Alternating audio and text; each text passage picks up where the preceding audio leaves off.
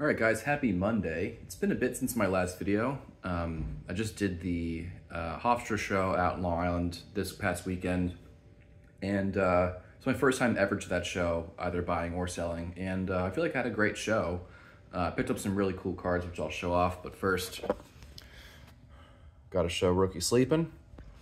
Uh, we can get going. I kind of separated these by um, by the deal, and so I'll kind of make mention to to that. Um, this first deal here was um, wasn't the first deal of the show. It was like actually like one of the last. Um, seven card lot uh, brought to me by um, someone who works, or I guess is the general manager of Cards and Coffee here in New York City.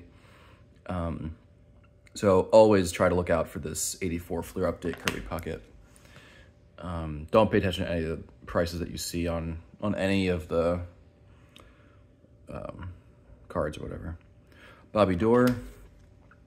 Uh, this is a Norm Cash rookie, uh, also a high number, not an easy card to find. Um, so pay attention to that. Uh, Dom DiMaggio from 49 Bowman. Uh, these were also in there. I'm I'm going to choose to grade these. Um, this Henderson has just really nice centering. Um, so I think that has a fair shot, like a 7. Uh, George Kell Bowman rookie. This is uh, becoming a pretty popular card, uh, given that his Leaf rookie is really unobtainable for a lot of collectors. Um, and uh, a decent second year Johnny Bench with very nice centering for a 69. Um, this deal I probably could have gone without buying. Um, this is like a, a lower grade 65 Clemente. Um, and this 60 Koufax has like a wrinkle in this corner. So I paid 100 bucks for the pair. I probably could have done without doing that, but what can you do? Um, this card uh, was part of a deal that I bought um, and then sold two of, of the three cards that I bought um, out of it. So the other two were 86 Fleer, um, Patrick Ewing, and Akeem Olajuwon. So sold those two, and then this one is left. Um, first time I ever owned this card. Um, low grade Moberg, but uh, it's really become an extremely popular card from this set. Um, just happy to have it. It's just super, super cool. Obviously low grade. It probably had some like um, those like uh, photo corner holders. You can see like some discoloring, but not in the corners here where the corners would have been. So um, cool card. Uh, this was maybe the first thing that I bought on Saturday. Nice mid-grade Minnie Minoso from 53 Bowman.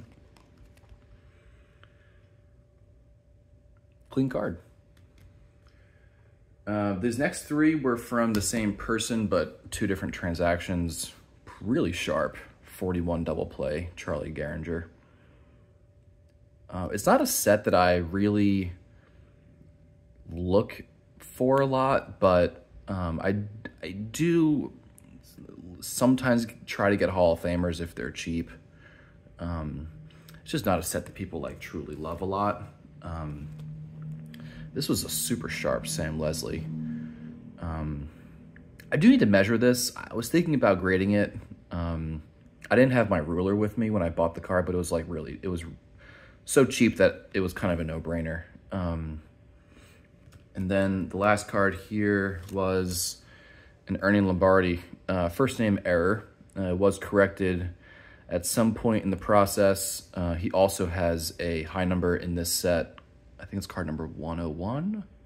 10, it's up there, um, which is a pretty tough card. Um, but this is the low number, uh, first name error. Ernie Lombardi is a Hall of Famer. Uh, last lot here, um, some cool cards here. Um, this Jake Gibbs, he was uh, the catcher in the Yankees before uh, Thurman Munson got there. I had one of these in a and a Greg Morris lot, and it was very centered like this, and it did like extremely well. So when I saw that, I had to grab it. Uh, this Dick Allen, um, I didn't see when I bought it, has a tiny wrinkle down here, so that'll probably go to Greg Morris too. This is like a big Greg Morris like I bought these specifically probably to go there. Um, Rudy Tomjanovich from 72 Topps Basketball, a set that I love to buy from Sharp Thurman Munson from 78. Uh, Bo Jackson rookie, little off center, but otherwise pretty sharp, popular card. Um, 83 Topps traded Darryl Strawberry. Cazzie Russell from 71. And uh, these were a dollar each. These are super sharp, um, just commons. But um, thinking about might grade them. The populations are pretty low. Um, so I might hold on to them for a little bit. I mean, I'm into them for like hardly anything. So um, might be a fun little experiment to just send a PSA and see what happens. Uh, but that's it. Uh, quick video. Pre- appreciate you guys watching. Had a fun show. Um, and uh, see you next time.